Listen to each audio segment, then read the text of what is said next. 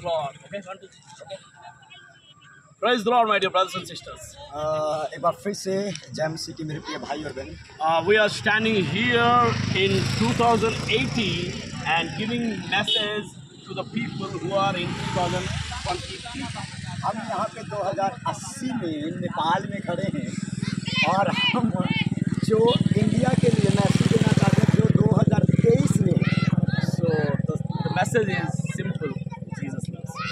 so संदेश बिल्कुल साधारण है प्रभु यीशु आपको प्यार करता है He's coming soon. वो आने वाला है name of Jesus. अ, पश्चाताप करें और यीशु के नाम में बपतिस्मा लें only Jesus. Father, Son, and Holy Spirit. सिर्फ़ यीशु मसीह के नाम नहीं सॉरी यीशु मसीह के नाम नहीं जो हुक्म था पिता पुत्र पवित्र आत्मा के नाम Hallelujah. हालेलुया मेरे प्रिय भाइयों और बहनों ये ग्यारहवा घंटा है एक पूरे दिन का। And it is the end time of this world और ये अंत का समय है इस दुनिया जीसस क्राइस्ट इज़ कमिंग यीशु मसीह आने वाला है। And he loves you so much my dear brothers and sisters और वो आपको प्रेम करता है मेरे प्रिय भाई और बहनों। Once he give he has given his life वो जैसे उसने एक बार अपने जीवन को दे दिया है।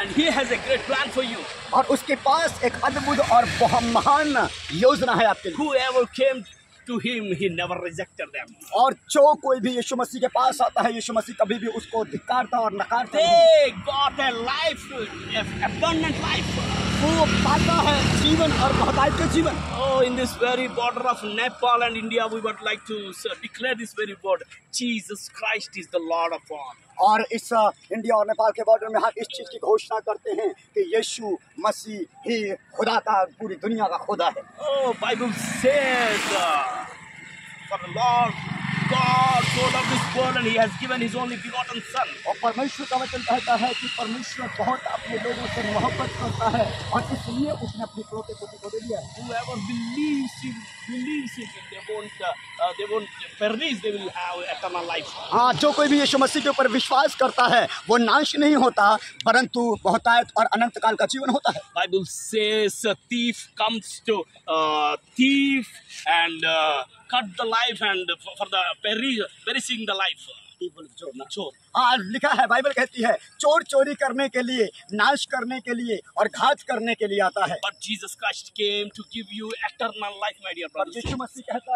कि मैं आया हूँ आपके लिए बहुत आयता जीवन देने के लिए। Oh he life eternal life. वहाँ उसके पास अनंत काल का जीवन है When we go to the airport, जब हम एक आ, आ, हवाई अड्डे में जाते हैं when we when we happen to catch a flight, और जब हम उस जहाज़ को पकड़ने की कोशिश करते हैं if we across all the requirements, uh, there will be uh, there will be final call. There will final call. There will be. जब हम उन सारी चीज़ों को उन सारे परिचयों से उन सारी पदवियों से जब निकलते हैं सारे हालातों से जब हम निकलते हैं तो हम एक अंतिम वो आवाज़ के ऊपर उस आवाज़ के ऊपर अनाउंसमेंट के ऊपर एक घोषणा के ऊपर पहुँचते हैं The uh, the final the the announcer says it is a final call for the uh, passenger. और वो वो एक जहाज़ चालक और उसका पायलट कहता है और उसका उसका वो कहती है कि ये लास्ट आवाज़ है एक सफ़र करने यात्रियों के लिए After that final call, there will be no chance and no choice. Uh, the flight will uh. हाँ अब उसके बाद उस आखिरी आवाज़ और उस आखिरी अनाउंसमेंट के बाद जो है तो उसके बाद कोई चांस नहीं है उसके बाद कोई मौका नहीं है लेकिन फ़्लाइट वेट नहीं करेगी और वो अपने उड़ान को भर लेती है The same way, this hour is the final call for this all universe and all brothers and sisters और उसी प्रकार से ये आखिरी आवाज़ हम आपको देने चाहते हैं पूरी दुनिया के लिए और भाई और बहनों के लिए। This final call, God as a being God's ambassadors, uh, God's pratinidhi, we would like to declare this final call. Jesus is coming.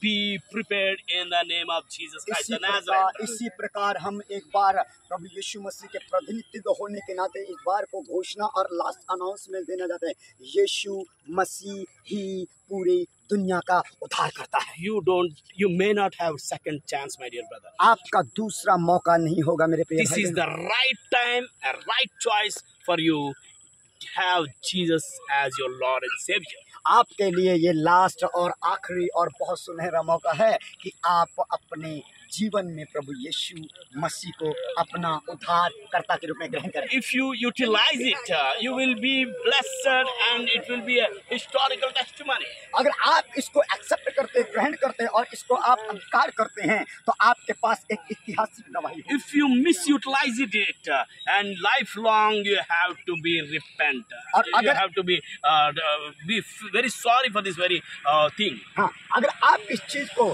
इस बार अगर याद नहीं करते और उस चीज़ को मानते नहीं और ग्रहण नहीं करते तो आप लाइफ टाइम के लिए पछताएँगे और आप लाइफ टाइम के लिए उस चीज़ों को सॉरी कहते रहोगे लेकिन आपको माफ़ी नहीं मिलेगी।